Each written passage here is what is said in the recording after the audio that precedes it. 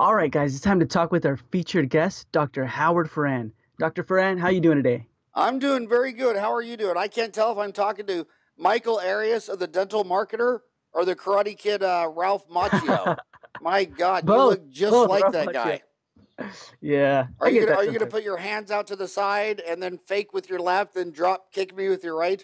Man, if my balance was that good, I would always do that all the time to introduce myself, but that's that's not the case. but yeah, man, why don't you tell the Dental Marketer Tribe a little bit about your past, present, and future, and how you got to where you are today? Man, that's a long story. Basically, in a nutshell, uh, I was born and raised in Wichita, Kansas. Uh, I had five sisters. My little baby brother wasn't uh, born till uh, I was a senior in high school, and uh, my dad was uh, very poor, and he delivered bread. And uh, then, when I was ten years old, he bought a franchise Sonic Drive-In, and he Oh, would eventually buy one a year for nine years. But after after we had uh, his first one, I think he went from making like eleven thousand a year to sixty thousand a year, and I was ten years old, thinking, "Wow, uh, a job really does change everything."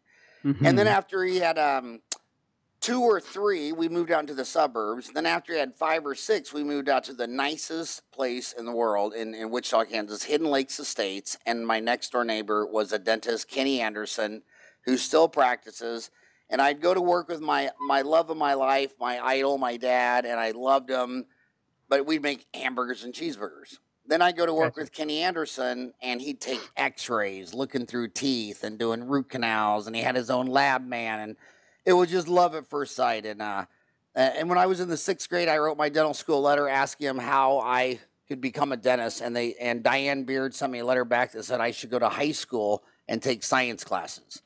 And uh, so I, Mhm. I I've been wanting to be a dentist. I think since I was I think that was uh, 12 years old, and um, so it's just uh, amazing. So then I was a dentist, and I loved dentistry as much as anyone I knew, and I just thought the dental journals were uh, um, just boring. I mean, like the big professional ones from the ADA, they'd have all these studies on, you know, cancer and rat mice's bones and all that. Yeah, and, and so uh, by 1994, I thought, you know what? I can't get through one of these magazines. I'm going to start my own. So I called the Farran Report, and I would write a 30 page black and white newsletter to the dentist.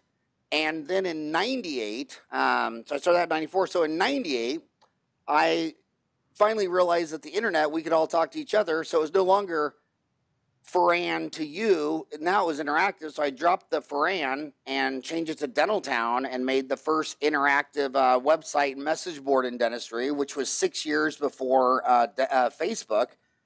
And Mhm. my, my tagline was that with dentaltown.com, no dentist would ever have to practice solo again. And it exploded. I mean, we signed up a thousand people a month, every month, even all the way up to last month. We've never signed up less than a thousand dentists per month. And it's just so cool. And that it's still just to its dream. It's uh, with dentaltown.com. No dentist will ever have to practice solo again. And it continues to grow. A lot of people, when Facebook came out, they said, oh, that'll kill Dentaltown. Dentaltown just keeps growing and growing and growing. Um, I think most people have 27, 28 apps on their phone. So it's not like you only do Instagram or you only do Snapchat. Yeah. But, but Dentaltown, I call it an inch wide. It's just dentistry, but it's a mile deep. I mean, it just drills down to how you could do a root canal, a filling, a crown, advertising, marketing, HR. So I just, I just Everything love on there. I just love it. Yeah. Yeah, there's so everything how, on so there. how did you? Uh, what was your journey like? How did you end up in dentistry? You started out as a nutritionist. Yeah. How did you go from? What What was in your journey that made you want to be a nutritionist? Uh, was that for studying? uh, Was that for your UFC camp training fight when you were trying out for Karate Kid Part Karate Two? Kid, yep, yep, that and was then it. how did you go from um, nutrition to dentistry? So I became a nutritionist because all my life I was a little okay, I'm 5'8. So I was I was a little bit overweight. I was 258 pounds at my max, I believe. Seriously, five Yeah. eight and two fifty eight. 258, yeah. That was my max. Okay, look, Howard, like in the sense like I was 258 and then I remember coming back from the doctor and I said, "Forget about it. Forget this. I don't care anymore. Let me just eat whatever." And then like 3 months later I ate whatever. So I don't even know how heavy I really got, but I know it was around my heaviest was 258. And then um after that uh I, I kept hearing like, you know, all these myths like for example, um, you know, no carbs after six, or you know, hey, only eat you know certain types of food, only go paleo. So it got so confusing, and I kept crashing on these diets. So I just decided to go to school for myself and and learn about it, and I did. And so then I dropped down all the way to, I think like 130 in like a year. Um, and then after that, just kind of started trying to get back up my body composition. And then, um, yeah, I became a nutritionist. And then What I do you, came what do you weigh now? Right now, I'm like at 158, 155, 155. Well, God, talk about that because you're talking to a fat boy who's been on every damn diet, and I always blame it on my genes because it runs in the whole family. I mean, you know, I got, I got.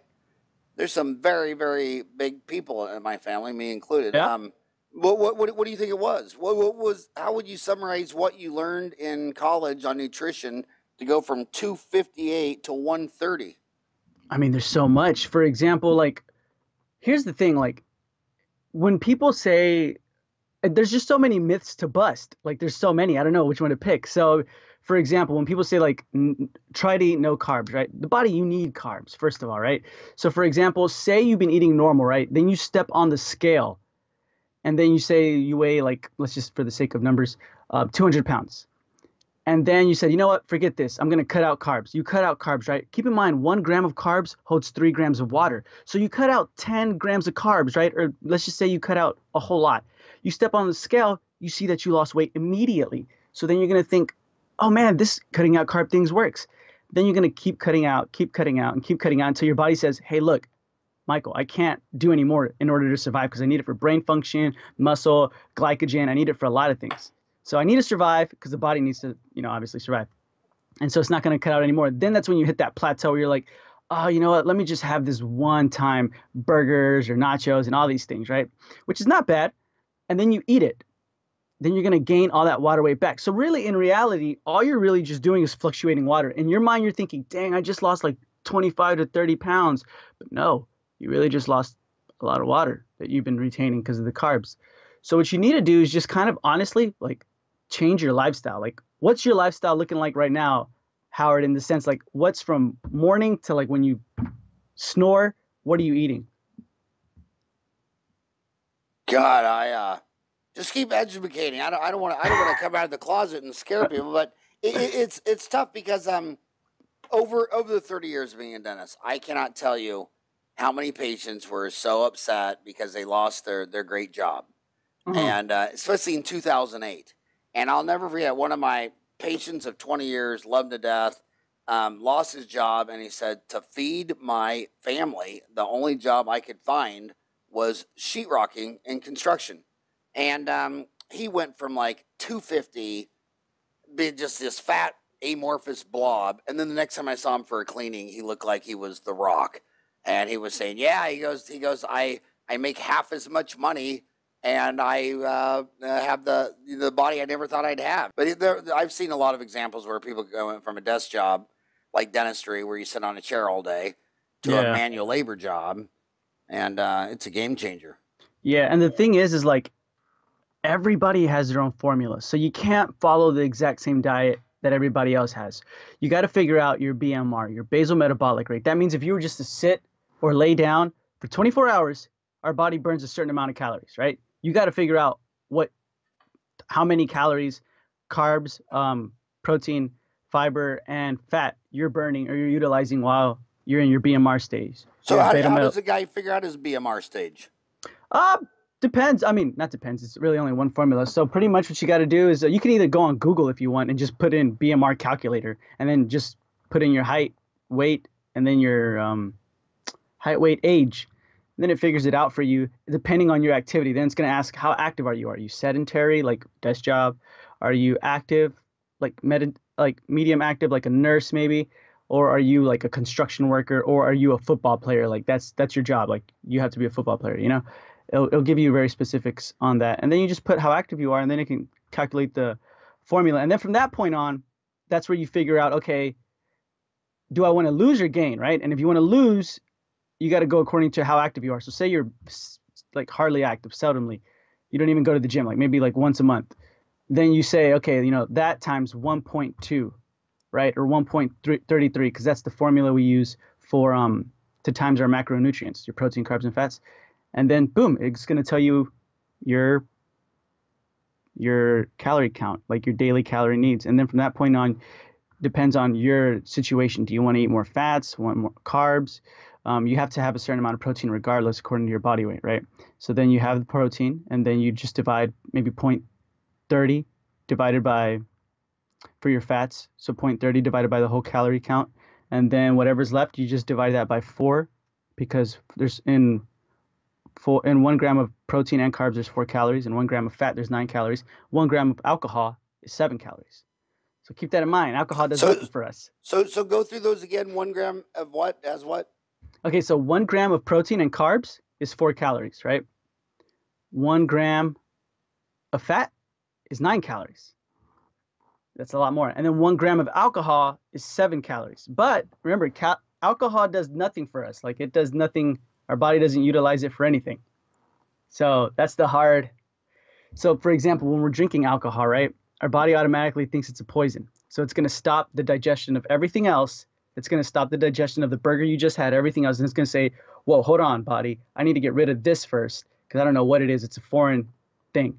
It's going to try and get rid of the alcohol. That's why we start, you know, urinating a lot and things like that when we're drinking too much alcohol because your body's trying to get rid of it. In the meantime, all the fats, protein, and carbs of that other foods that you've been eating throughout the day is put on hold.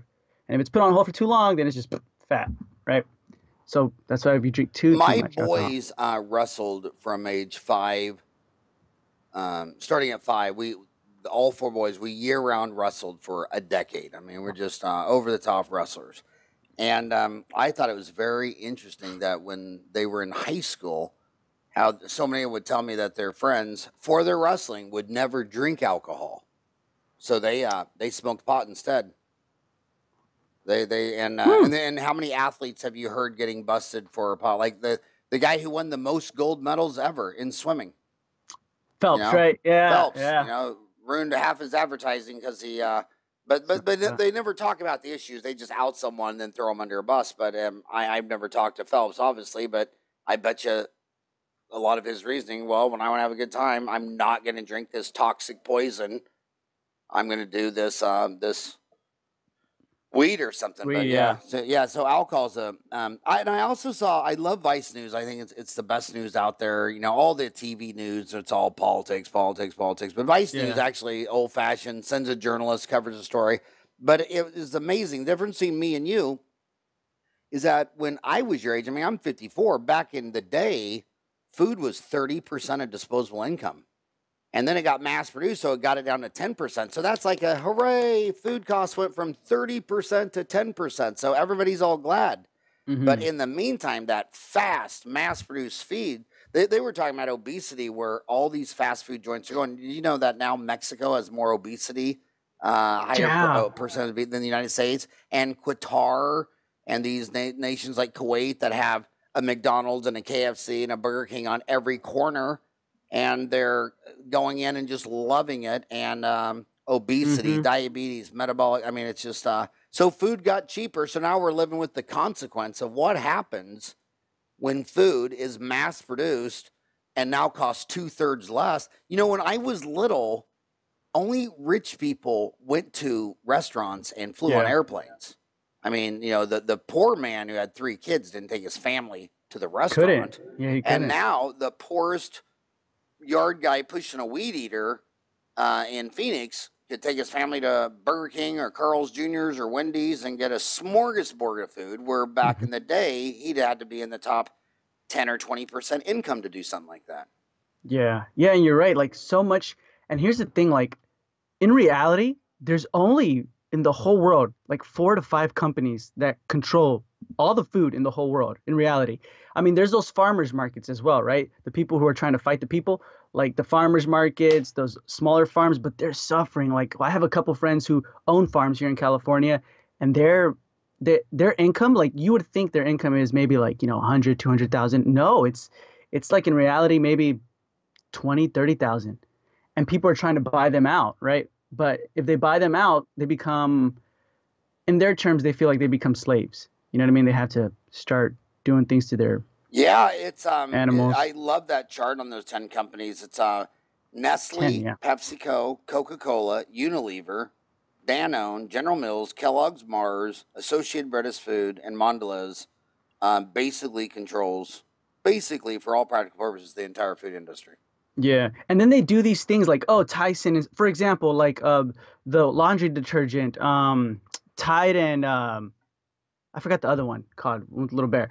They they Tide and uh, Glad, Glad? No, I forgot. But for example, they always fight like, oh, which one's better? Which one's better? They're both from the same company, right? Just like the NFL, right? The NFL, they're all from the same. Every single team is from the same company, but we're spending money on marketing techniques, man. Like that's advertising. It's just ways to cons- consume more. Same thing with the food. Like it's just about so what, money. So the reason this is so pertinent to dentistry, though, is uh, there's a huge thread on this in dentistry that start post on um, um, how to get in great shape. There's one of those threads, how to get in great shape. I think it has 25, 30,000 posts on it. And but Wow. a, but a lot of this stuff has to do with the fact that when the dentist gets obese, when the dentist gets diabetic, when you know he he loses energy, it's hard to go in there and be. I mean, we do all hands-on surgery, so we have to have Mhm. some athletic component. I mean, we're not set, you know. So, what would you say to a dentist who was fat, short, bald, had four boys and two grandchildren? I mean, I'm just, I'm asking for a friend. I'm just asking for. Yeah, a, but, yeah, yeah. but what would you say to that guy? Um, what what would be your your your five minute version of, of how to um get back in shape uh, by eating right? I really wouldn't say much. I would ask him to tell me exactly from like morning to night what you eat, and then from morning to when you go to sleep, how you are active throughout the day. Then from that point on, we can get a better understanding of like, hey, well, it's easy to tell you like, you know, from what you're eating, obviously, and how you're feeling, why your body's becoming like this, and how your diabetes is. Because once you become insulin resistant, right? That's even harder, man. Like insulin resistant is, it takes up so much of your um, not just energy and time, but it just it just makes it even harder for you to lose weight because it's like your body is literally fighting against your insulin receptors aren't going to be taking in the insulin that you're supposed to be taking, so your glycogen or your carbs are just stored as more, you know, fat. So you really need to pay attention to the glycemic index. Now, I don't know if like your doctor has told you about the glycemic index or not, but it's pretty much you know foods that are low in the glycemic scale that are not as fast um, acting carbohydrates. So they're more slow or complex in the glycemic index. And yeah, I'd tell you to kind of consume that a little bit more. You would have to really, really be really like once you get diabetes, I don't think people realize like once you get diabetes or some type of obesity related situation, that's when you really have to like take care of like what you're eating. It's not like, all right, let me just start cutting out, I guess, fats or carbs. Let me just not go to Wendy's every single lunch hour instead of, you know, or whatever. Like you really, really need to start paying attention to your diet. Like that's where it's very important to start because your body's telling you, man, like, hey, I already got diabetes. Like, So, like so what do you what do you think of another thing that goes on in every dental office is where they uh, they have a coffee pot going all day. I mean, I mean, there, there's dentists that are still drinking coffee at three o'clock in the afternoon. yeah, yeah.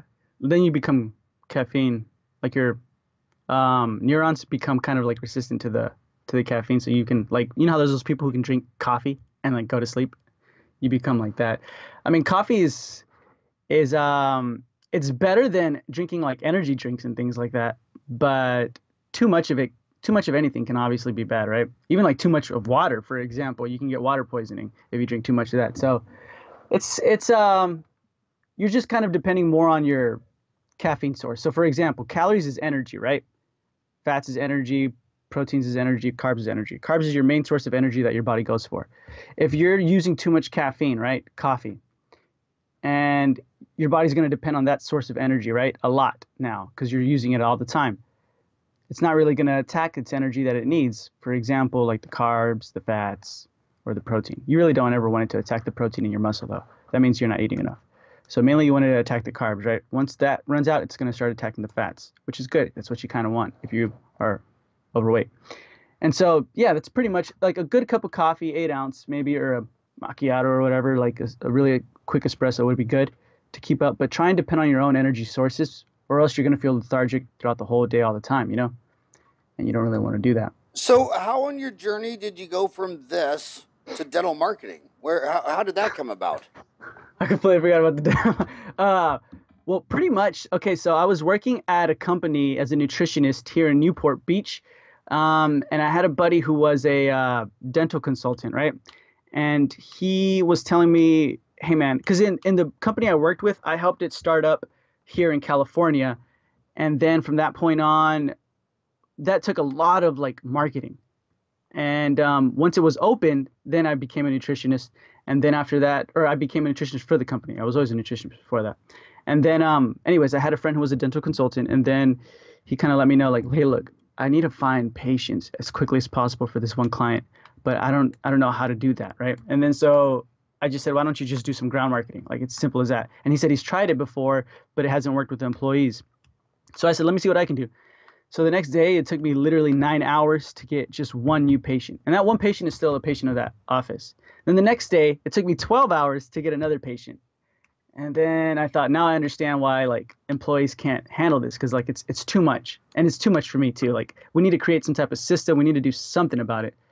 So pretty much, I just started from that point on experimenting with ground marketing, which is guerrilla marketing, and then um, yeah, just kind of started creating pipelines and systems for like, for example, say there's a local dentist here and then there's a Walmart um, beside him, then there's a another store beside him, and then there's a warehouse, there's a Coca-Cola factory. What I would do is I would go into those places, do lunch and learns, just kind of set up pipelines. I would do events, set up booths consistently, right, every week or so, and just build pipelines so that new patients can start kind of just going in and going in and going in. Like they get employees and then i'll say hey look everybody in the coca-cola factory all you employees like we have a specific membership program just for you and your family just for you guys. So i mean they already built a rapport with me so they're perfect you know they're 20 new patients 30 new patients will start coming in you know slowly but surely. And then yeah that's how i kind of got into that and then i started just studying about digital marketing you know um, SEO. I've always been into SEO and things like that. But I mean, mainly what I do is the the ground marketing, the digital mark. I mean, the ground marketing, yeah, guerrilla marketing. So, so talk about guerrilla marketing. Uh, you know, Google says guerrilla marketing is an advertising strategy concept designed for businesses to promote their products and service in an unconventional way with little budget to spend. This involves high energy and imagination, focusing on grasping the attention of the public in more personal and memorable levels. Um, Dennis, you know, mo- when they got in advertising, they just wanted to write a check. You know, the yellow page guy had come by, they'd sign the deal. Uh, uh, yeah. A direct mail guy comes by, he'd sign the deal. They, they kind of like doing marketing without having to leave their dental operatory. Talk about guerrilla marketing, which is so much more powerful. And um, what, what, what, what guerrilla, what does guerrilla marketing mean to you? Where do you, where do you see it being used in dentistry? Well, like guerrilla marketing has always been kind of used before digital marketing. You know, like that's how we would we would always operate as far as when we wanted more customers in the door. And like to be honest, like let's face it, people are not online 24/7, right? They go to work, they go shopping, they go to school and do other activities in their community. So I just kind of thought like, hey, why not be there, right? If there nobody ever goes online and says, "All right, I'm going to be on the internet. What should I look up at today? Let me look at a dental website." You know, nobody really ever says that. They just kind of look at stuff. If they're ever in pain or they need a dentist, that's when they look up like, "Hey, best dentist in Phoenix," right? Or whatever. That's where that stuff comes in. But guerrilla marketing, you're kind of out there already with the community. You could participate in events, host them yourself. Uh, you could talk to kids and parents at schools or be present at an employee health fair or just do lunch and learns and that's a great time to set up like a table and offer them free toothbrushes or just get to know them more about more about them and their family it's super easy way to build rapport because you're actually doing people to people you know what i mean? Like person to person contact. You're actually talking with people with the community and you're not invisible right? It's not just a picture on a website. So i kind of thought of it as like you know person to person contact creates trust. People do business with people they know right? Like and they trust.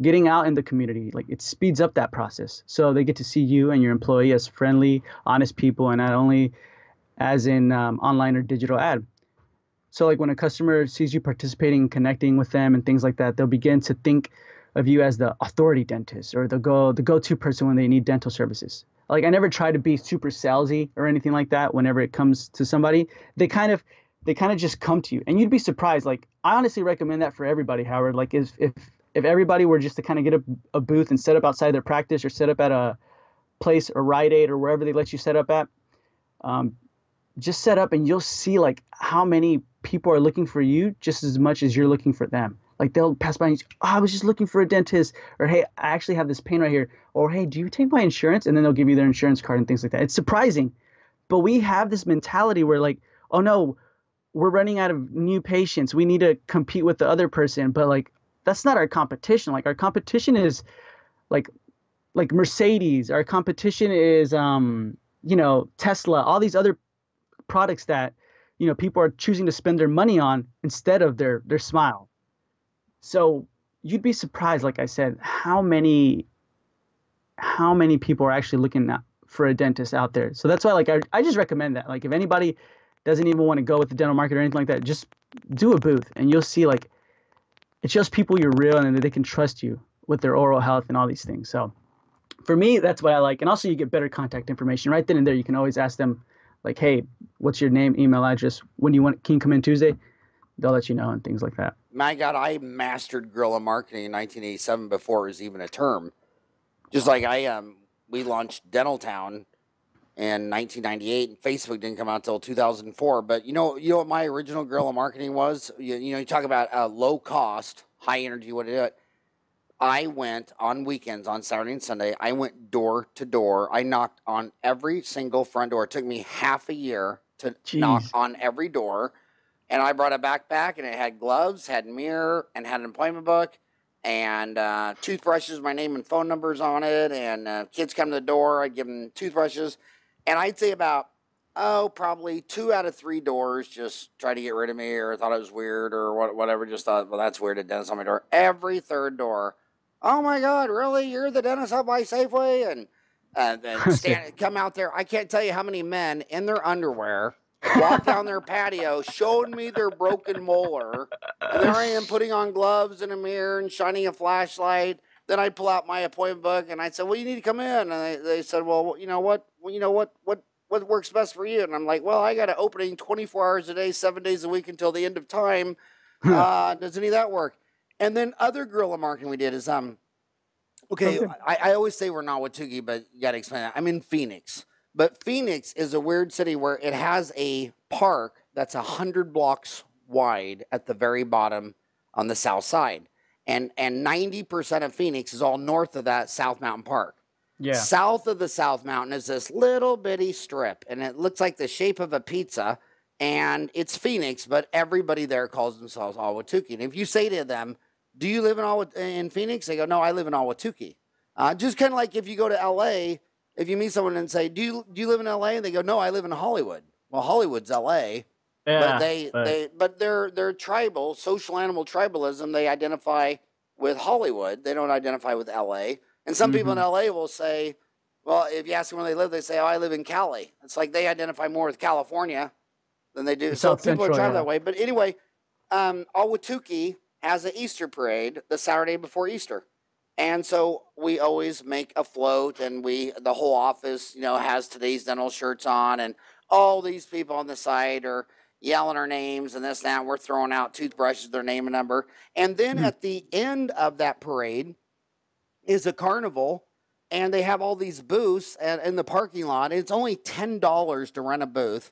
So we just Jeez. put a table there. And then someone goes down to the uh, the Arizona Office of Dental Health, the government agency, and we just say there's a, a dental, uh, there's going to be a fair in Phoenix. Do you have any free brochures? They could load up three Suburbans with stuff. I mean, in fact, the staff's glad. They go, "Oh my God, we got so much crap. We'd love to get rid of this." and I basically just carry stuff out to my suburban in boxes, and it's uh-huh. brochures uh-huh. on sealants and you know community water fluoridation or whatever the heck. You know, every oral cancer, mouth cancer, and then other little things like like the farmers market. Yeah, they'll send the boots. So in Ahwatukee, there's just a farmers market, and it's only on Sunday, and it's basically from six to noon. Hmm. and you know you got all you got all these different staff, but you put your dental assistant in there or your hygienist there. Every person comes by, how you doing? Where are you at? But they see you out there and you're pressing the flesh, and they get to meet a human. And I, um, every February is Dental Health Month, so we break up uh, the two high schools, the four middle schools, mm-hmm. and the mm-hmm. twelve elementary schools. You can always get in the third graders and yeah. you, you go in there and you talk to them about about dental care and uh, you're I, I think guerrilla marketing is massive and, and and then if you and then the closest you can get to guerrilla marketing is I think it's very impressive when I go to a dentist website and there's a uploaded YouTube video of, of the dentist. Yeah. I mean, I mean Mhm. they, they go to your website and it's like, okay, you're the best dentist, and it's it's a still photo with you and your wife and dog and cat and whatever. But I think it's really damn cool when you click the video. YouTube video and there there's the man, there's the Yeah. dentist talking and and they get to feel chemistry and oh that's the dentist and you know and uh, so Yeah, no, you said it. Like you said it. Like I don't understand why. I guess I do, but I mean, because of time. But I feel like more people should be doing that type of ground marketing, guerrilla marketing, right? Especially now, like kind of in an age where everything's online. I mean, if you're out there and you're talking to people, you're you're gonna get new patients. Like I've never seen. It's never happened where our team has never gotten new patients. Or any employees that I've coached have never gotten new patients. Like people's people sign up. People want to go. People move to a new community all the time. So I mean, ground marketing is is is there. Like you know what I mean? Like it's a cheaper way, a lot cheaper way. Especially in the big cities. I mean, that's changed so much. Like when I was little and I go visit my uh, grandparents, they were in Parsons, Kansas. Pretty Mhm. much everyone that lived in Parsons, Kansas is was third, fourth, fifth generation. They were born there, and died there. And Mhm. now cities like um, Phoenix and LA, they have a Phoenix has a 10% churn flip a year. 10% of this city leaves a year. That's why you should do more root canals and implants because there's a good chance that when you screw it up and it fails, by that time they've already moved to LA and you don't have to worry about all your failures.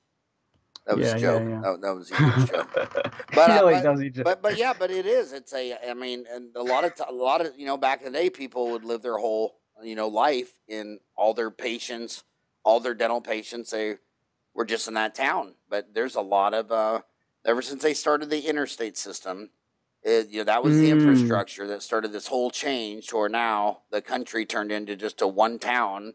And Really? uh, yeah, before the interstate system, ninety percent of Americans were born, raised, reared, and died and never went 90 miles away from home. That was a 99 year old. 90% of Americans never went 90 miles away from home. Then they built these interstates where people walk out the interstate and said, Oh my God, I'm in Wichita, Kansas. I can drive all the way to Disneyland on this big old highway. Big, yeah. And yeah, we did that. right. My dad, I mean, my dad, he put my five sisters and me in the back. It was a station wagon. Uh, we put all the uh, seats down so it made it flat. And we played Monopoly, me and my five sisters. Uh, while mom and dad sat in the front seat with a case of old Milwaukee between them, and Uh. they're drinking beer and throwing them out the windows as this family drove all the way to LA with no seatbelts on, and uh, you know, Uh. just a little different time back then. Hey, what was your favorite um thing to order on Sonic?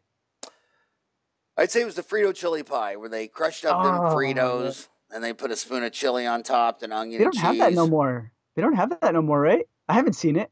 Yeah, I haven't seen either. That was my favorite. But you can Ye- make that at home, and that that's very nutritious. Whenever you start with the bottom core of the dish, Fritos, Very you nutritious. know you're a nutritionist. Yeah, yeah. I mean, how do you how do you go wrong when the base is Fritos? I mean, you know they uh, um, yeah. And talk about sensitivity. I remember we were little. The most fun thing about eating a bag of Fritos was the Frito Bandito eraser you put on the end of your pencil. Do you remember that? Oh yeah, yeah. Dang, and then uh, and then uh, they had to pull it because uh, um, Hispanic people said it was uh, it was not cool. Uh, but uh, that I think you know Cracker Jacks you'd eat them to get the prize, and a bag of Fritos you would eat that to get the little Frito Bandito that you put on the end of your pencil. But uh, yeah, that makes me wonder, like, whatever happened to the Taco Bell Chihuahua? Remember? yeah. You know Taco Bell? I wonder what happened to him too. I wonder if like the Hispanics, we'd said Well, that, that's kind of interesting food. I, I, the Hispanic food is interesting. There's really no such thing as Hispanic food. I mean, the difference in Hispanic food between Phoenix and New Mexico is huge. By the time you get to Texas, it's Tex-Mex. When I go south Yeah. the border and lecture in Mexico, by the time you get to, um, say, uh, Puerto Vallarta, you can't even find anything that you would think is Mexican food in that whole city.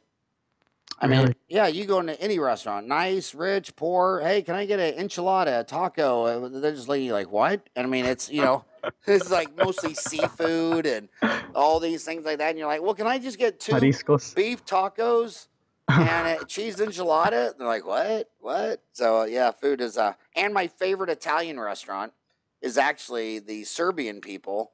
Uh, they opened up a restaurant called Valbeni's. but they Serbia is right next to Italy, and they go, well, Mhm. Serbian food isn't a genre in America, so it's kind of just like Italian food, a little different, kind of like Mexican food between Phoenix and New Mexico. So they call it Italian food, and everybody says they got the best Italian food. It's not even Italian food; it's Serbian food. Uh, Hmm. But marketing would say that if you're in America, let's not call it Serbian food. That's kind of rare. No one knows what that is, Yeah, but everybody's looking for Italian. So what? So what? if- What if someone said to you? What if someone called you up and said, "Hey"?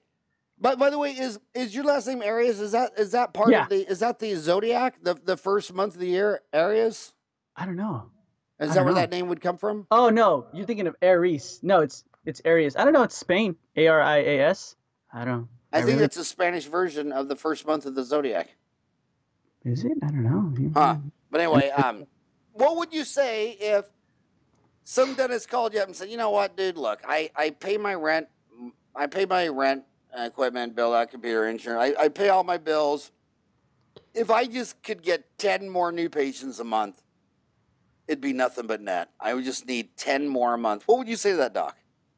Are they? Is the doc doing like any digital marketing or anything like that, or no? Nothing at all. Nothing at all. We're Nothing talking about all? some fifty-year-old, bald, fat, half senile dentist. He's in Parsons. Kansas. He doesn't do any marketing. He used to do the yellow pages, but it got to be a thousand dollars a month, and he Dang, couldn't really? remember the Wow. last time anybody came in with it. Uh, he did some direct mail back in the day, but now he wants to do marketing, and he's Mhm. bombarded with so many messages because there's so many consultants who tell you that marketing is. But basically, it's it's all about Facebook. It's all Facebook, Facebook. I've seen Facebook. that so much. Like, hey, that, hey, let me do your Facebook ads. Let me do your Facebook ads, and, and so many like Do you, do, you, do you think Facebook is all that in advertising, or do you think there's other more effective ways? What? Oh, there's there's there's definitely other effective ways, but Facebook is pretty important. Like uh, Anissa, Dr. Anissa Holmes, she kind of taught me some ways as far as how that works, the algorithm, because it's always changing. But other than that, I mean, I never really, never really, um, as far as for too much, like too much Facebook ads for one community, that can happen because there's other doctors doing it, other doctors doing it. I mean, you're never really on Facebook to look for a dentist all the time. You know what I mean? But uh, if it was a dent, if it was a doctor who said, "Hey, you need ten more patients," yeah, I'd recommend like, "Hey, man, first of all, like, can people see you online or on your Yelp or anything like that, right? Like, let's increase those reviews." Other than that, if you're looking for the most like, like cost-effective way, just do ground marketing. Honestly, like, just set up at events or go into your local like Walmart or Target or whatever, you know what I mean, Rite Aid or Safeway. These people actually let you go in and talk to the employees. They'll let you even set up a booth if you want outside or inside. You just got to say the right scripts, say the right words and then from that point on, it's easy. Once a week, set up at a vitamin shop once a week, you know, just kind of sign up new people and then that's it. What do you think about some of the old school stuff, direct mail? Um, I think it works for some, and I think it doesn't work for some. Like I've had clients who say it works. I have clients who say, "Hey, man, like my ROI is ridiculous. Like it doesn't work at all." So it really just Have you have on you the found any common threads in between them? Because I know some of my friends that just want implant patients. They want they want to upgrade your denture into all on four. A lot Mhm. of those 60, 70, 80 year old people aren't on Facebook and Twitter and Snapchat and Instagram. And uh, they still walk out to their mailbox every day because it's like a treat. Like the mail, the mailman just came when you're 70 years old. It's like, gosh darn, put your glass of wine down. The Put mailman came. No, it's seriously that I think that's the most biggest overlooked thing when people talk about addiction and alcoholism. My um, Uh-huh. I have like two patients that um, work in the big uh, liquor department, whether it be Yeah. at the grocery store or whatever, and they say every single morning when they open at eight o'clock, there's 200 senior citizens waiting to come in. Yeah, and they, he says I see them every day, and every day they buy. I mean, there's basically two types of customers. They either buy the half gallon or the gallon. And he says it's a yeah, because so many people. I mean, when you're when you when you're retired, you have nothing left to do. A lot of them just think the best idea is to wake up with a uh, with you know make a picture of uh, Bloody Marys or whatever the Uh, heck they do. But yeah, because mo- a lot of people don't do any of that kind of stuff during the week because they have to get them go to jo- work. Yeah, And it was yeah, Gandhi, you're right. who- and it was Gandhi who said, "Idle hands is the work of the devil." He said, "He said I don't care if all you do is take all the poor people and have them pick up a rock on the west side of town and spend all day dropping off the east side of town. Well, just whatever, just keep them moving." Um, you Mhm. know, um, just good. idle hands is just gets you in trouble, Yeah, I like especially, when you have uh, four boys, Ryan. And uh, well, that that's why so Is many Ryan just moms. looking? Ryan's just like, yeah. He just yeah. at me all day. He's ac- actually after uh, working with this podcast with me for over a year. He's dead inside. he's uh he died. He's just He going died. through the motions. But Poor yeah, but man. so many people have their kids in all those activities just to keep them out of trouble. Yeah, and that's one thing. Like, for example, if you are looking for new patients, you can also do daycares and like kinder cares and things like that. You can just set up there, teach the kids, teach the kids, quote unquote, but really just stay there until the parents show up, and parents are gonna be like, "Hey, you've been teaching my kids. What have you been teaching my kids?" And then boom, like you can say, "Hey, look, we're a family dentist, like right here." But here's the thing, like Howard, like you gotta what you gotta understand, like if you want to be an implant dentist or you want to be a a pure cosmetic dentist, things like that, like branding, like you gotta understand like and i know that sounds like so i guess cliche or so out there but you really really need to figure out especially like in this day of age like your brand like i think forbes.com said it where it, like brands are psychology and science right brought together as a promise mark as opposed to a trademark so products have life cycles brands outlive products brands convey a uniform quality credibility um, and experience right brands are valuable for example when when um, that motor company in India, right, bought Jaguar and they bought Range Rover from Ford. What did they buy? Did they buy factories? Did they buy raw materials, employees? No, right? Goldman Sachs and Morgan Stanley, um, they helped uh, Ford sell the brands to that company for 2.56 billion, right? And the brands were worth more than all the ingredients combined. So branding is essential. Like brands are build incredible, they build incredible value for companies. So you can regardless like we all have a brand either whether we like it or not we can either be the cheapest dentist in town we can be the dentist that no one knows about we can be the dentist in between two two stores whatever right that's where you got to figure out your brand that's where once you figure that out your marketing comes in right the more narrow or the more niche you become like the more you're going to see of that influx coming in of whether it's implants or the or whatever procedure you're doing right but if you're trying to be everything and you're trying to market to everyone you're not really going to get many people. But if you become niche, if you're starting to, you know, hey, let's just do cosmetic, let's just be drill and fill. That's all we're going to do. Or let's just accept this type of insurance or no insurance or fee for schedule, things like that. Then you're going to start building your brand. And it takes time, but I mean, like eventually specific implants are only going to go to you, be referred to you. Specific uh, TMJ patients are only going to go to you and things like that. So that's where I think it's more important. Like, hey, figure that out. Figure out your brand, right? And then from that point on, we can start marketing that out because you got to be different. You got to differentiate yourself from others. Like for example, if you're still not convinced, like that branding is not important. Like for example, let's think like about the dollar, right? The dollar is a world brand, right? And in essence, it's it's simply a piece of paper, really. But branding has made it so valuable that all the tools of marketing and branding and brand building have been used to create its value. So on the front, you'll find the owner of the brand, right? The Federal Reserve. There's a testimonial from the President of the United States, which is George Washington. There is a it, there is a simple user's guide that says this note is a legal tender of debts, public and pi- private.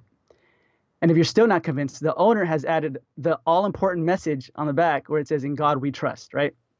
So the dollar is a world it's world brand.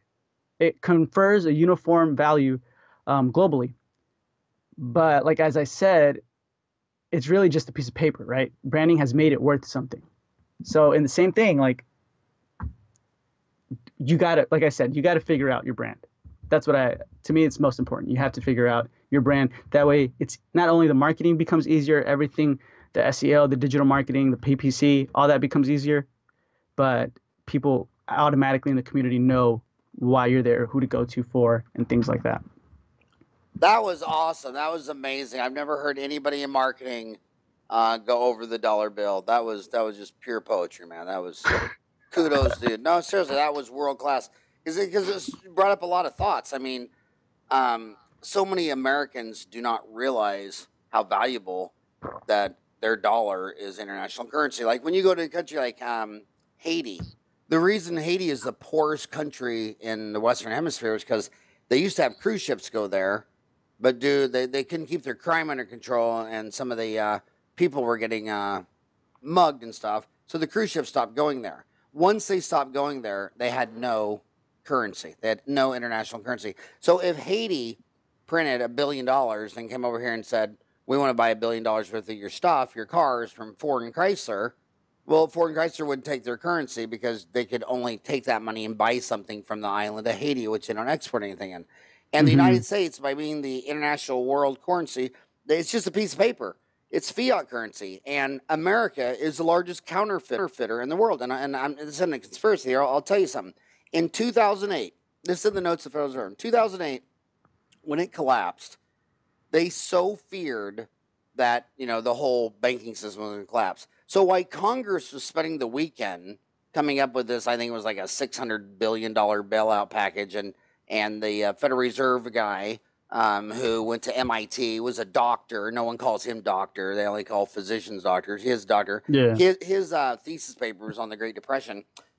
He didn't admit for four years that that night they printed eight trillion dollars because back in the day Jeez. when it was gold and silver, you had to have the gold and silver, and that was the limits. Um, then it went to paper, where you actually had to have printing presses make and cut and stack all this paper. Well, there's no more even paper anymore. I mean, 90% of all banking is digital, ones and zeros, electronic. And the um, the there's uh, and we now have our first paperless country where now the banks in one in one and Scandinavian country, the whole country decided to give up uh, not just coins. We're debating the penny. They give up currency. They go everybody used their debit card, and Yeah. all the businesses and banks said we no longer take paper and coins, and we're just completely digital. So he printed eight trillion. He they didn't go out and tax eight trillion. They didn't collect eight trillion dollars in tax revenue. They They just made it up. printed.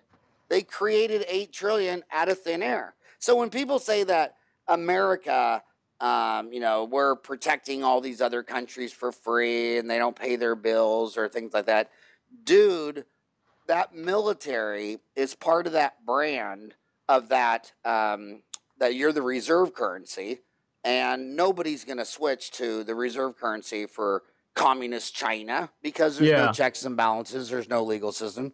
But as long as you're the reserve currency, and as long as now 90% of all banking is ones and zeros and digital, you have no idea how many billions of dollars are creating, transferring, moving.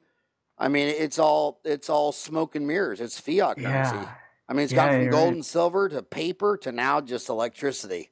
And Is to that- have that be uh, an American asset is priceless, and it's because of our brand, especially after World War II. I also want to say one thing about marketing. Um, but things about marketing is hmm you know, it's one thing to brand a Reese's peanut butter cup or a box of Kraft dinner or a car or a Ferrari, but healthcare is very different because when you come to me and I say, you know, you have prostate cancer and you have to have a surgery, well, what, what are you supposed to do with that? I mean, you're just looking at me like, is this the guy? Is this the best guy? Do I have to do it? Imagine a woman.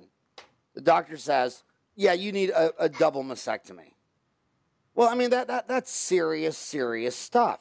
And Yeah. she has to trust you. So we sell the invisible. So when you go out there, these women are getting two or three uh, different opinions, and they're trying to get trust. So they go about it, which they think is best. Like, well, I'm going to go to the doctor that goes to my same church, or you know, or my mom, her friend, she had her mastectomy from Ralph, so I'm going to go there. But that, that's how do you make? So it's all on trust and in healthcare, very few people realize you sell invisible. When you come into me from marketing, and I tell you you have four cavities, and they're two fifty a piece, that's a thousand bucks, and you're like, hmm well, I just I just wanted my teeth clean. I, I don't know if I have cavities. Why why do I know I need cavities? And then you look at the data.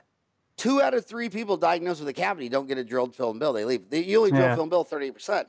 So in healthcare, Mayo Clinic builds trust. Cleveland Clinic, Scripps out by you in San Diego, John Hopkins, Sloan, Kettering, um, you know the the Houston uh, Clinic.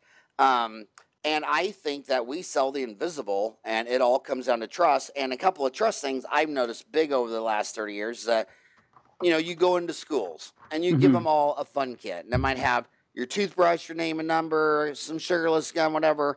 But then you'd hear parents say, well, yeah, I saw that, um, you know, Desert Vista, you know, there's a lot of dentists in Ahwatukee, but, you know, they're, they're, they have you come into our school.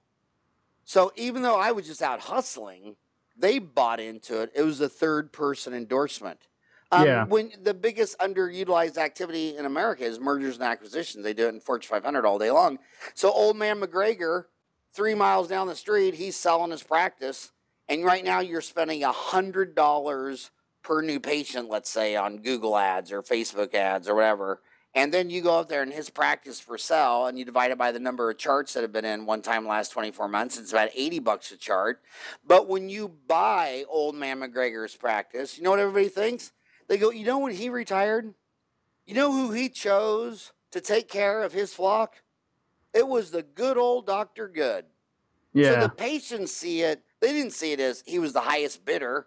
They don't even know that it works like that. You know what I mean? And they mm-hmm. sit there and they say, "Well, I thought it was pretty neat that after old Henry retired after 45 years, that he sent all of our records to you." So it's an implied endorsement. Whenever you can get a third person endorsement, that's why people like to get any plaque they can, the top dentist or some award or something. It's really nice to have if I walk up to you at a party and I say, "Hey, I'm Howard Farran, I'm all that," you think, "Well, that's a narcissistic weirdo." Like, But if. Ryan walks up to you and says, "See that guy over there? That's my dad. He is all that and two bags of chips," then you'd like, "Well, really, really, why? Why? Why is that?" You always want a third person endorsement, especially when you're selling the invisible. And when I go to get my oil change, and I and because the check light came on, I know every single time some kid's gonna walk out there and say, "Well, you know, you really should drain your transmission fluid, and you should get an air filter." And I'm just sitting there looking at this kid like, I don't know what this. I don't know what it's based on. I mean, I grew up with five sisters playing Barbie dolls. I've never seen transmission fluid. I don't know where an air filter is. I've never seen a spark plug. Uh, but I could dress a Ken doll 30 different ways and had my own Barbie house. Not a good And, and sometimes I was so good, I'd take a Q-tip with Vaseline and grease Barbie's long boots so that when you slipped them on, they wouldn't uh, they wouldn't split. So it's really, and that's why I always take my car to where I bought it because I just kind of think since I bought my car there, maybe you're more honest than somebody I don't know. So I don't know. I I, I always take my car, and all my friends say, "Why do you take it to the Lexus dealership? That's you could get it on half the price anywhere." And it's like, well, ha- what what is half the price if you don't even know if you need it? Uh, you know, what is what is half the price if it's not even done right? But I, I think doctors need to realize that the main the main goal of marketing is trust. And I'll tell you what, Google, I, I'm I'm afraid of Google's stock because Google, they've got all these different investments. yeah, But do. when you look at their 10K every year, they still make 90% of all their money off search, ads on search.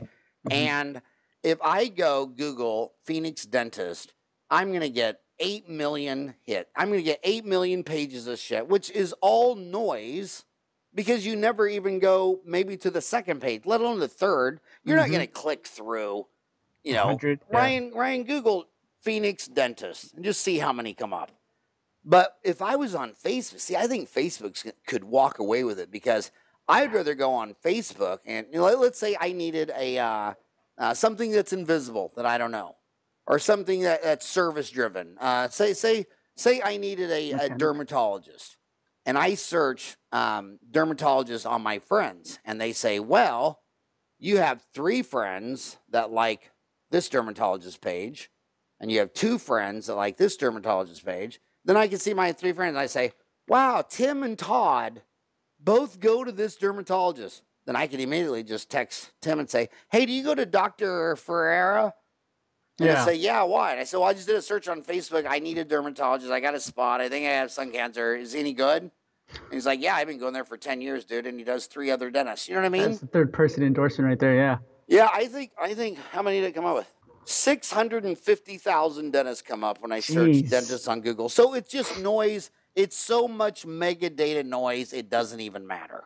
Yeah. I want you know I don't need to ask my friend um, um, where to buy an iPhone or a Coke or a cheeseburger. Mhm, But if it's invisible, if it's if someone said to me, "You got to have prostate surgery," I'd like, "Whoa, say what? Um, you had cancer." Um, I just went to a dentist and he said I had I had 11 cavities. How the shit could I have 11 cavities? I want to get a second opinion, not by someone who's uh, come up on a Google page. I want to get a second opinion by somebody that I can trust. And if I don't know Michael Arias from a hole in the wall, but my best buddy George Bob says you're the bomb, then I'm walking in there with trust and I'm no longer thinking, is he a shyster? Is, is he lying? Yeah. Is he just trying to sell me a new transmission? You know, like, Uh-huh. like the, the air conditioner repairman. I swear in Phoenix, every time your air conditioner breaks down, whoever the shit shows up will tell you you need a brand new air conditioner. So then you just sit there and you wait because I got this one guy who doesn't work for a chain. He's just some guy has one truck, lives out of his home, and he's Mhm. always booked three weeks in advance when it's 118 degrees out. And I'll sit there and say, you know Okay. what? I'll, I'll suffer for four or five days because I know if I call anybody on television, I know, I know, I need a brand new air conditioner. Then he shows up with some duct duct tape and WD 40 and gives it a shot of Freon and says, I'm sorry, but I had to give you a, a shot of Freon. And that stuff is like, I mean, it's really expensive. I mean, a gallon Yeah. of Freon. G- Google how much a gallon of Freon costs. I, it, this is crazy stuff. We should get out of dentistry and get into free, Freon. Get into Freon. Uh, it's fifty dollars a pound. Now remember, water is eight pounds a gallon. It's Okay. fifty. It's what? Wow. It's four hundred dollars a gallon. Jeez, for Freon. Four hundred dollars, and and this guy will come and say, "Man, I'm so sorry. I give you. It took a lot of Freon, and it's four hundred dollars a gallon." But see, I don't care because I trust this guy. And if this guy said, "That's the last time I'm going to do it. You need a new air conditioner," then I'd say, "Well, just order one now." But I don't have a problem with buying a new air conditioner. I don't have a problem with changing the air filter in my car. I just don't want to have it done when it's not necessary and I don't trust you and I think you're lying and you're just trying to make money off me Yeah. uh, by doing by cutting on my teeth or removing my mastectomy or my uh, you know whatever. Yeah. And so so So the, the, then- the unique problem in dentistry we sell the invisible. It's all based on trust. so then, like, what do you think about Yelp or like third-party websites like that? Um, I am. okay, you got to remember, I'm I'm a grandpa. I got four boys, two grandchildren. I've never, in my circle of friends, I've never seen anybody use Yelp one time in my entire life. Uh huh. Uh huh. Now you're my children's age. You're Greg's 26. Uh, Ryan here is 24. You guys, I hear you guys talking about all the time. But so then I go to Dentaltown. And Dentaltown, I want everybody to use the search function because that damn thing cost me $50,000. And whenever I upgrade it, it's the Google search box. So when you come to Dentaltown, all the servers are black in a rack. And then there's Yeah. this yellow box that says Google. And the only way to update is you got to buy a new box, and it's that damn box is fifty grand. So every time I upgrade Jeez. my search, I could have bought a damn car. But if I go in there and type in Yelp, there is nothing but bad noise. I mean, it's just, it's just. I mean, I mean. Now, if I go in there and say Facebook ad, I don't hear a bunch of screaming and fussing and crazy. If I say Google AdWord, I mean, it's all good. If I say postcards, it's all good. But you say Yelp, I've never read anything good about Yelp on Dentaltown, and these guys are all doctors with eight to 12 years of college. So it Yeah. seems like they're only good at really one thing, and that is pissing off all my homies Yeah. on the Dental doctors. Why, That's why, why, thing. do you agree with that or disagree with that? I, I agree. Oh, well, here's the thing. Like, I agree to a sense because, like, Yelp first started off as like that trust, right? Like, hey, look, your friends are reviewing people on here. Look what people are saying about this dentist. And to be honest with you, so many people or business owners are obsessed with the reviews, right? Like, they'll they'll entice it. They'll they'll they're just obsessed with it. And the hard thing is, like, you can go to school for 5, 12, 20 years, right? But if you have a page on there that has nothing but bad reviews, and then your Google shows bad reviews on Google, and then let's just say Facebook shows bad reviews, like you're not gonna get, you know what I mean? Like all the all the right people that you want or anything, no matter how many years you went to school, because of like maybe one employee. But I do agree that Yelp though, it, it's kind of made all of us become experts at stuff we really don't know. So for example, like we can say, oh, the dentist tried to upcharge me. You know, he tried to say I had seven cavities, although like the guy really never flosses or he only brushes his teeth maybe once a day or whatever. And he's like, but then I went to another dentist and he told me I only had three. This guy's tr- he's just a shyster. He's trying to like you know get, take me for my money. But in reality, you really do have those cavities, but now you look like a bad guy, right? Now you look bad. And here's the thing like Yelp is being sued constantly. Every single day, they're always being sued and they have to go to court because of the reviews that are trying to be taken down. So I do believe that Yelp in a sense, like to me at least, I do believe like if you start paying for their like maybe ads or something, they'll start because I don't know if you noticed, but they'll um, even hide the good recommendations, right? They'll hide those and they'll sometimes just leave the bad ones. And it's like, man, well, this person is a real person. It even shows that they had 21 friends. They left other reviews on other people's sites, but for some reason, Yelp hides it. According, because I've asked them, I've asked them why. They just tell me it's according to their algorithm, right? So I do believe like if you leave a review on Google or um, Facebook, it's a lot better than Yelp because Yelp it's not it's a third party website. You can't control it. You know. Well, I mean? you know, you know what would mean a lot to me is the um the video reviews because like okay, Oh, not yeah. throwing my family under a bridge, but uh say Thanksgiving dinner. I mean, I got aunts and uncles and cousins and if you could actually see them when they were talking, you would just by seeing them, you would know they were batshit crazy. Okay, I am absolutely the only normal one in the entire Farran family. So if I was reading a review that says all this, but it was my crazy aunt with crazy eyes, you know, talking we're crazy, then I, I I could dismiss that. But seeing something in text takes so much out of it. But if I saw a really compelling human. And, Like if I saw you with your shit together, sitting in the dental chair or standing next to me saying, I just want you to know, you know, I had a really, you know, I had this issue and I came here and thanks kudos to Dr. Farran for working me in and fixing it up and it didn't hurt and it all turned out great and thank Yeah. you so much. And I could see that it was coming from you uh, as opposed to, you know, the the Unabomber living in some uh, you know, shack out in the middle of nowhere with a beard three feet long and has that. You know what I mean? I mean, it just, it just, yeah. I just, I just would want my, my, I just think it's more compelling. I think, uh, I think Dennis should do regarding Facebook ads. They should do all the free stuff. They should do Facebook Live reviews with their patients leaving. I mean, whenever you see a patient verklempt, man, have your dental assistant pull out her iPhone and snap the, the, the Facebook account for your office and do a live interview. I mean, I scrolling down seeing memes from dental offices. To me, it'd be very different if I saw a patient. This is Shirley. She came in here, and uh, you know, and uh, what do you what do you think, Shirley? Oh my God, I love it. Blah blah.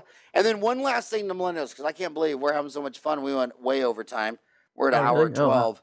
Um, Jeez, one didn't last thing is that um, you know, one uh, mistake I see millennials do a lot Yeah. they think, well, who's going to get cosmetic dentistry? Oh, the rocking hot young pretty girl on her way to prom queen, or she wants to grow up Ah, and be a yeah. model. That chick doesn't have a nickel. You Yeah. know who buys all the cosmetic dentistry? Little old ladies. 65, 75, 85. When you tell a 75 year old lady and her tooth breaks off and this and that, I say, you know what? everything in your mouth it's all it's all done back in the day this is breaking this and i'll tell you what if we did the upper 10 teeth i swear to god it'd take 10 years off your face.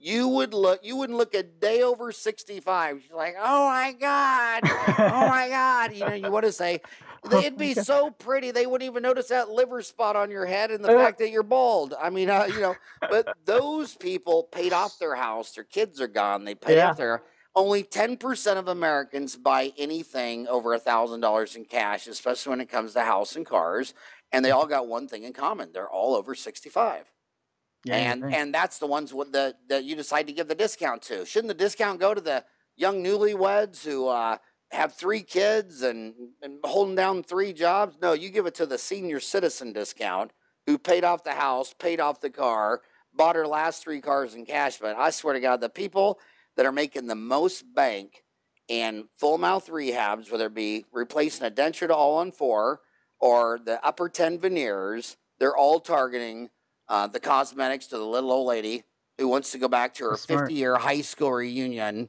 and make everyone jealous. That's the ones hiring a nutritionist. I mean, these these Mhm. women plan two years in advance to go back to some of these reunions. Yeah, no, I'm going to go back to Iowa and I'm going to be the sexiest woman from the class of 1912. And she'll give you all the money to do it. I But, know. Uh, hey, No, uh, right. big fan of your podcast on Dentaltown. Uh, thank you so much. Uh, I wish you'd update. It. I mean, you have how, how many shows do you have? Right now, I think I'm at 67, but I know on Dentaltown I need to catch up on uploading. Yeah, um, because I called you, you didn't call me. Um, uh, you uh, you have so many fans on Dentaltown, so many of my friends that I actually uh, drink with. But when, by the way, that drinking thing, if you ever find out a uh, a sugar free diet uh, beer, uh, I'm I'm Irish. You're not you gonna to- like it, man. You need to send me the the. And for my, my buddies, Water. they're gonna need a uh, a sugar free diet vodka. Yeah, man. Uh, Any dude. any nutrition questions or anything like that, health and wellness, always ask me if you want. I'm always Okay, we'll great- and- FaceTime you live from the bar, asking you what's uh But no, they, that's what I love about Dennis. They're always smart. Like you know, they they know what they're doing wrong. Like and when we go to the bar, you'll hear Dennis say, "Well, I was smart. I just eat the chili. You know, I would just eat the chili and get a glass of iced tea, but I'm going to have a shot of Fireball, a beer, and get the nacho chips." And, Tom, and seriously, Ryan, don't say Tim or Todd's name while we're talking about him. And uh, but anyway, um, hey, thanks for all you do for Dentaltown. Thanks so much for unloading, uh, uploading your podcast. Um, I think it's uh, um, awesome what you do. And I'm sorry, I'm too old to have ever seen a unicorn, the Loch Ness monster, or a Yelp user. or a Yelp user. Nah, it's okay. We won't, probably won't see Yelp users for a while, anyways. Who knows? All right, buddy, have a rocking hot day. Alrighty, man. You too. You be safe. Bye.